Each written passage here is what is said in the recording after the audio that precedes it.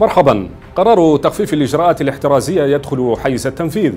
الحكومة بصدد نشر آلية للمراقبة الوبائية ضد كورونا. المصادقة على مشروع قانون لمكافحة العنف ضد النساء. أهلا بكم. دخل قرار تخفيف الإجراءات الاحترازية ضد كورونا حيز التنفيذ اعتبارا من اليوم الخميس. وهكذا سمح بفتح الأسواق وعودة المطاعم للعمل بشرط تقديم خدمات توصيل فقط. كما تأجل توقيت سريان حظر التجول ليكون الحادية عشرة بدل التاسعة وستقام صلاة الجمعة وفق شروط تشمل التباعد وغسل الأيدي وتعقيم المساجد.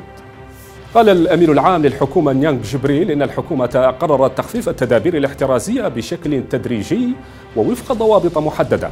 وأكد الوزير أنه تم تشكيل لجنة لدراسة القرارات المناسبة في باقي الملفات مثل تقييد التنقل بين الولايات وفتح المدارس وعودة المواطنين العالقين في الخارج.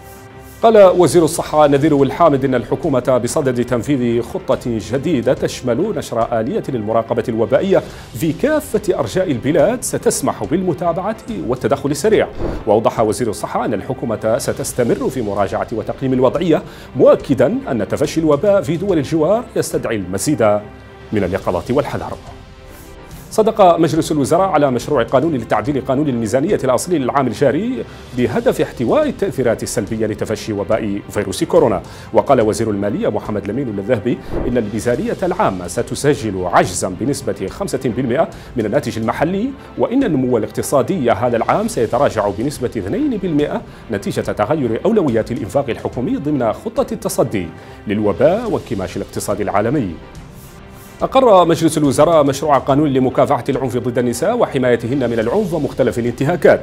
وأكد وزير العدل حيمود الرمضان أن مشروع القانون الجديد يحدد إجراءات قضائية وصحية واجتماعية لمساعدة ضحايا العنف وتمكين النساء من رفع الدعوى ومتابعتها. حتى آخر مرحلة إلى اللقاء.